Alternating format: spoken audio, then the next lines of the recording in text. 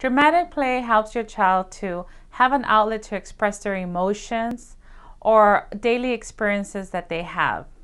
Pretend play can be either verbal or nonverbal.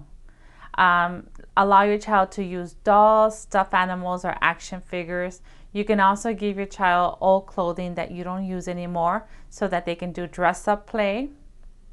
An example of nonverbal pretend play um, could be your child pretending that they're cooking.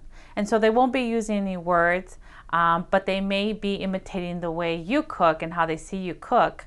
Um, and verbal pretend play will be if they're playing mommy and they use a doll and pretend that you know that's their baby and so they're talking to the baby okay it's time to feed you let's get your baby let's get your baby's bottle time to eat so that's an example of a verbal and nonverbal and both are are good um, however your child wants to do pretend play is fine sometimes children want to talk when they do pretend play sometimes they don't now, if you're um, observing your child during pretend play and they're not using words, it's good for you to go ahead and ask your child, Oh, what are you doing? Ask questions.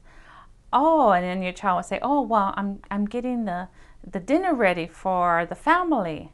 So then you can add more and say, Oh, okay, um, so what are you cooking for the family?